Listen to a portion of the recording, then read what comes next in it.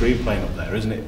With, with all them chances coming from all different angles and the centre halves getting beyond the fullbacks, etc. Yeah, no, it's uh, it's really good. Where um, the manager has us playing a certain way, and um, it's really enjoyable to play in. And as a striker, you uh, you know that you're going to get opportunities.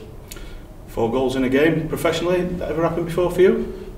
Um, not that I can remember. Um, I think I scored, I scored a hat trick when I was at Chesterfield on loan, but um, I literally, honestly, I can't can't can't remember. Um, brain's a bit all over the place at the moment. It's a bit surreal taking it all in. Um, but no, I don't think so. It's the first time for those. We won't tell the manager, but it's an international break. You might have a couple of days off. You got a bottle of champagne for the man of the match. Is that is that cracked open tonight?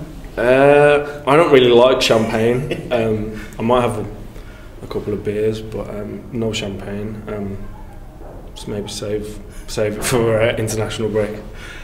You got the match ball. You got it signed by the lads in the dressing room after. Yeah. Where, what happens to that now? Does that go pride of place at home? Yeah, um, uh, Hoppo, Kit Man will look after it for me until uh, we go back in, and uh, I'll get it framed and put it in a, in a nice place in the house.